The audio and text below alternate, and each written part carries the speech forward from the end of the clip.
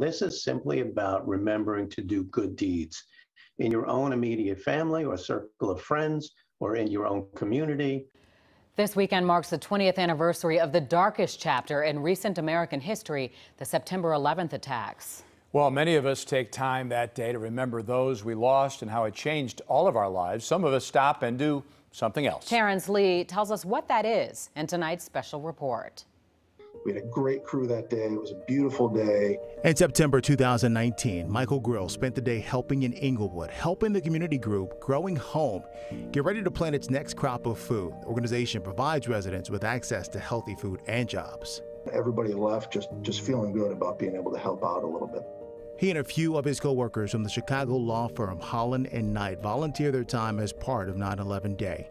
It's a national day of service to remember those affected by the September 11th attacks by giving back to your community. They lost a colleague from their New York office in the terror attacks. We still were recognizing the fact that people were really going out of their way to chip in, to do good deeds, not only for our family, but for everybody in New York and around the country. Jay Winuk is one of the co-founders of the nonprofit 9/11 Day. He lost his brother Glenn, who was an attorney and volunteer firefighter in that attack. He helped evacuate his law offices, which were located just a few blocks from the World Trade Center, and raced into the South Tower to save lives, and he lost his life. Jay's family waited for months until his brother's remains were found. In that time, he and a friend got the idea to start a ritual where people would do good deeds every year on the anniversary of 9 11. We felt if it was just left to the history books to teach about the attacks, but not about how good people of the nation and the world came together, then we have lost an opportunity.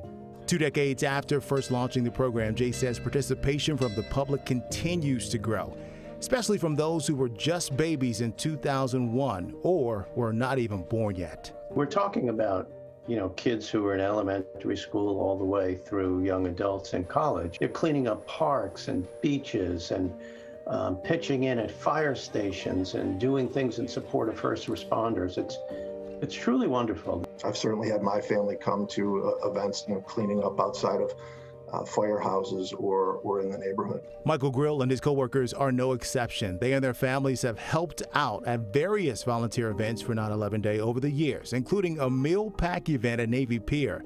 It benefits the Greater Chicago Food Depository. They plan to be there again this year, too. Even though the 9 11 Day organization has been encouraging good deeds for the last 20 years, their work is far from over.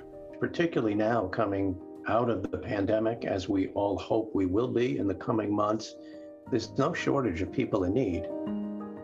The Meal Pack event 9/11 Day has planned for this coming Saturday as part of a nationwide event with similar events taking place in several other cities across the U.S.